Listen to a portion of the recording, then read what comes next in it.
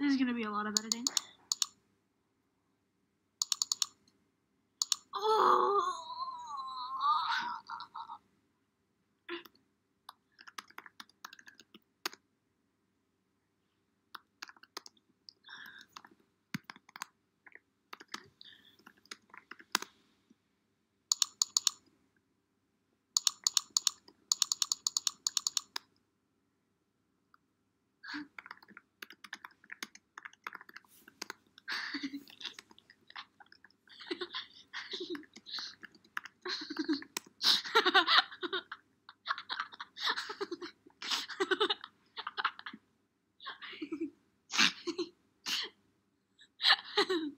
Holy